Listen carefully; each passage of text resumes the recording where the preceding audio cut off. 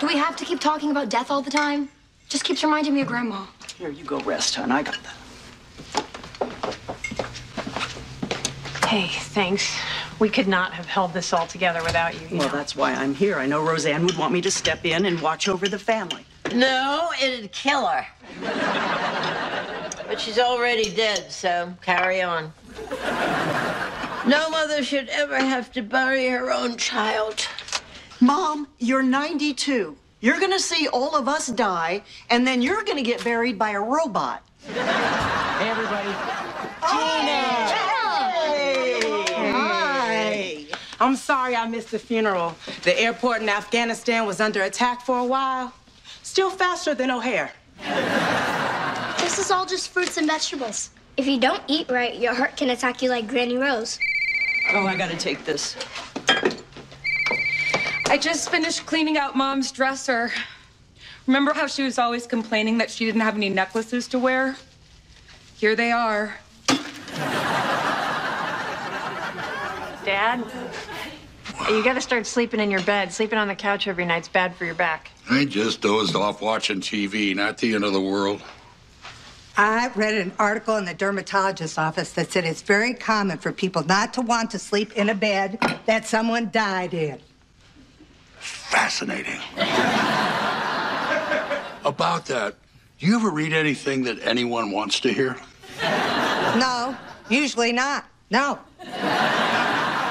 Geena, how long before you have to go back to Afghanistan? Oh, they only give you a five day leave for the death of a loved one. Aunt Darlene says that Granny Rose might come back as a bird or a grasshopper. That's really sweet, but I think Aunt Darlene should put away her yoga pants and pick up a Bible. Uh, not that crazy, really. Just reincarnation. Only about a billion people believe in it. Well, you better make your reservation in hell then, because it's going to be crowded. Reservation? We already have a cabana. Dan, can I talk to you for a minute?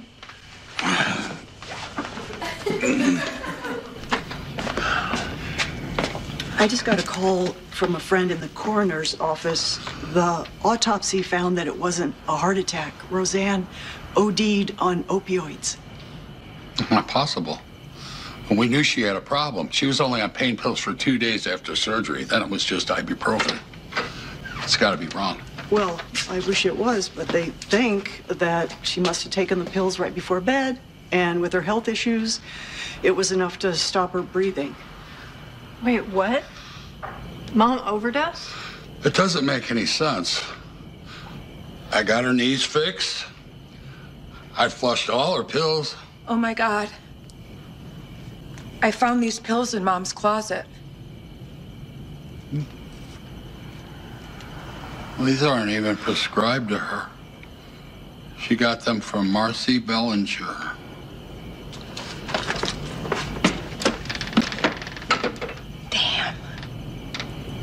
That's the only thing from mom's closet that I wanted.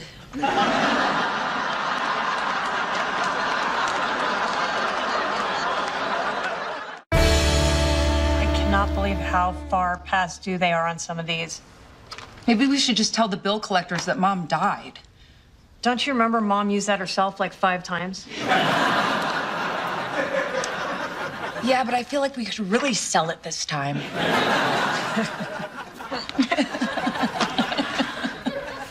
Are we horrible for laughing?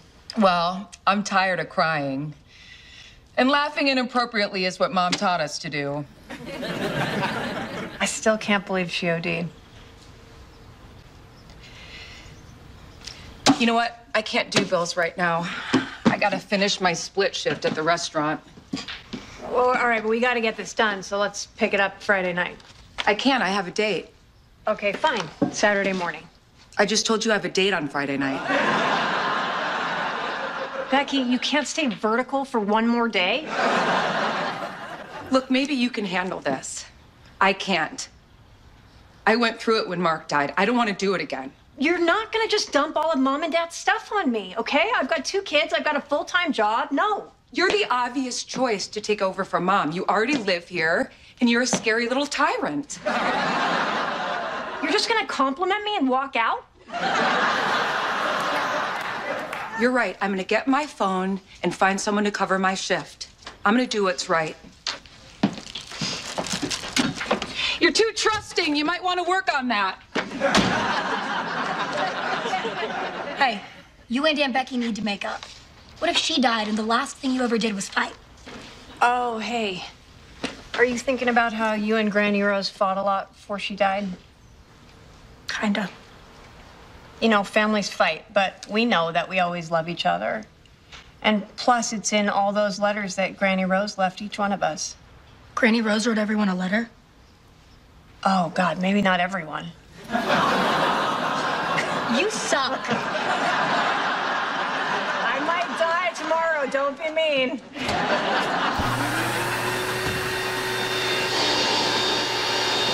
what are you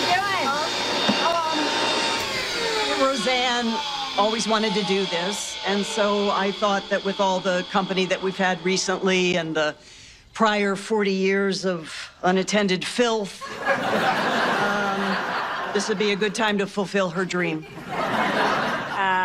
When will it be dry? I was gonna zone out in front of the TV for a bit.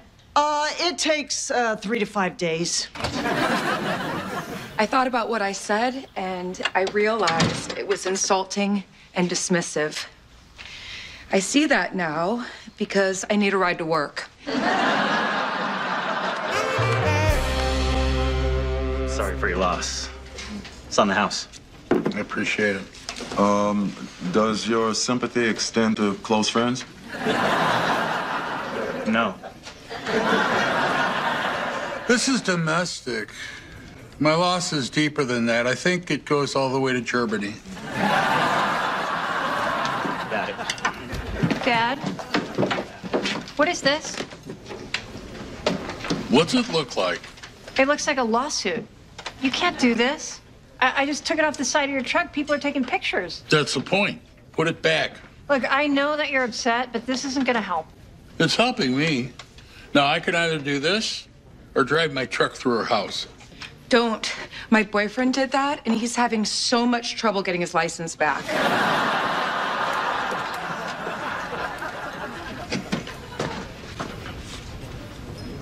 Thank you. Let's go, Chuck. The uh, truck through the house thing, that's just an expression, right?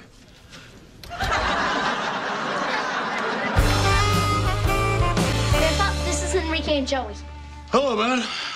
Listen, you guys can play in here. I got stuff to do in the garage. You don't have to go. They're leaving because I have to do homework. They just came in to get a drink. Really sorry to hear about your wife, Mr. Conner. Thank you, son. People die. What are you gonna do? Seen a little too much action in Nam, Joey? See you tomorrow. Hey, that's our cop. All right.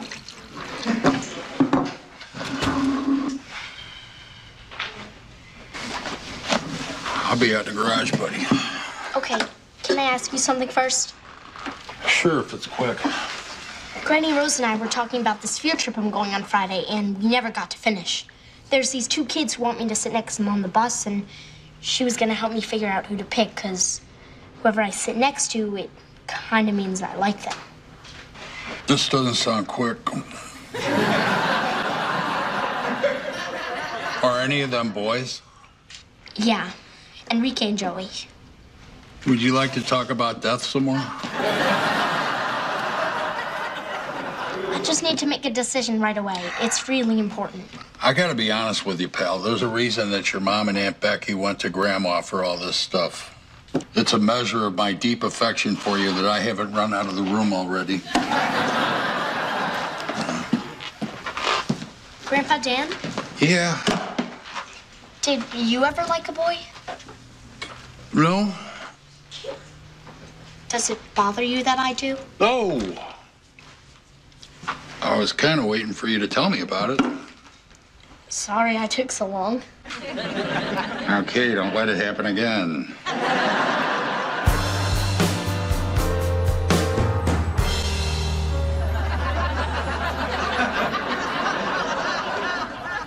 I hope everyone is enjoying the movie. I'm having a blast sitting on this hard chair paying bills on a plastic.